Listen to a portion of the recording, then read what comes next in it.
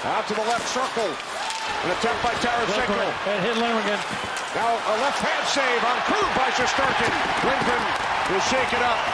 Shesterkin pushing him off towards the bench. Now back up on his skates. Penalty expires.